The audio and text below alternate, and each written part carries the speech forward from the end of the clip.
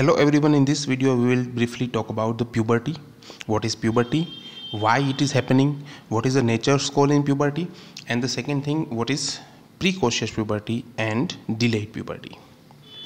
Puberty is basically a development of secondary sexual characteristics that the person enters into reproductive phase of his or her life. Okay reproductive phase.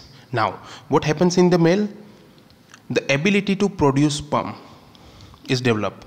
And how it will do the testis will get enlarged. There is a growth in testis. There is a spermatogenesis started in testis. Ability to do coitus. Enlargement of penis. Libido. The thinking changes and the person now thinks sexually. So this is the person having uh, person wants to be uh, involved in sexual activity that is libido is also developed at this point. There will be a physical growth and mental growth. So what what actually natures want? That the person now should be independent. And so physical growth is required because the child cannot be survived independently. So now the physical growth is acquired so that now the person becomes adult who is able to survive independently who is able to produce further uh, species in the uh, in their lifetime okay? So this is what happening actually. In females the monthly ovulation starts because the ovulation is the basic criteria for reproduction. And that's why the menses will also start because of the uterine, uh, uterine priming for a baby. For a uterus to uh, have a baby, the uterus needed to be cyclically changed with the help of estrogen and progesterone and development and regression of the endometrium. So the uterus is becoming preparing and the ovulation is happening. Development of accessory reproduction organs like breast. Breast is developed because the newcome baby will have uh, needed the food or will need the nutrition in form of breast milk. So development of breast is also absolute necessary for reproduction. As uh, was there in the male part the libido sexual thinking will uh, increase physical growth and mental growth will increase to be independent in their further life.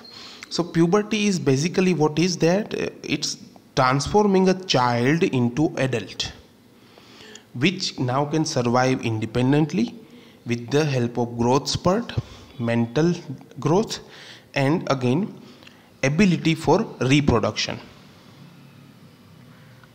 Okay what uh, what is starting this process of puberty? See the puberty is a process is not a time. Puberty is a process of around 5 years so what the pu- uh, starts the puberty? Actually the brain starts the activity first. The hypothalamus will start releasing pulsatile gnrh that will make the pituitaries to release fsh and lh this hormone will go and act on gonads particular gonads like testes ovaries. These gonads will act on testes to produce sperm spermatogenesis. On the ovary to do ovulation the gonads will further produce hormones, sex hormones, estrogen, progesterone, and androgens. All three hormones are present in both species but on variable amount. On the female part, these hormones will uh, make development of uterus and breast and also the libido. In the male, the androgens will do growth of the penile part, libido, and this androgen will produce androgenic hair in both male and female. Where the androgenic hair lies? Axilla pubic hairs. So all these uh, changes will uh, make the spurt in the growth hormone. So the growth hormone will be increased so that generalized growth of the body physical growth will also increased. Now puberty as i already told you is a time period of around 5 year is a sequence of changes. In the uh, now you want to pay attention here. In the female the first thing happening in puberty is a growth spurt. Then comes the thelarche thelarche means breast development. Then comes the pubarche. That means pubic hair development.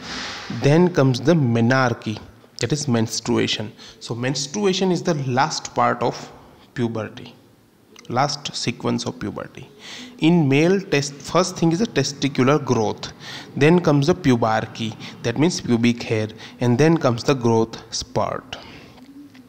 If you see the timeline the female is ahead of male for one year.